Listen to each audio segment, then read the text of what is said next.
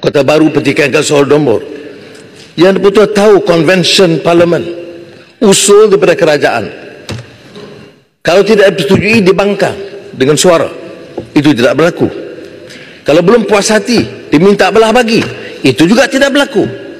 Jadi kita move on lah. Jadi saya ucap terima kasih kerana ramai yang mengatakan move on. Dan saya tidak berhajat sama sekali Kota Baru untuk bangkitkan lagi isu ini saya nak tumpu perhatian betulkan kepincangan dalam pentadbiran dan pengurusan kerajaan. Elakkan daripada penyalahgunaan kuasa dan rasuah. Dan supaya hoi hoi ya hoi itu bukan saja melibatkan orang di sini tetapi juga di sana. Kerana di sana juga pernah menjadi menteri pernah jadi perdana menteri dan pernah meluluskan kontrak-kontrak kepada anak menantu mereka.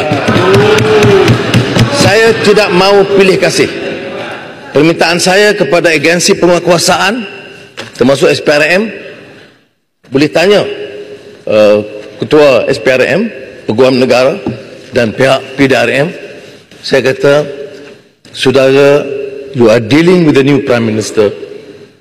I mean what I say. Saya nak bersihkan negara ini daripada rasuah dan penyuluh kuasa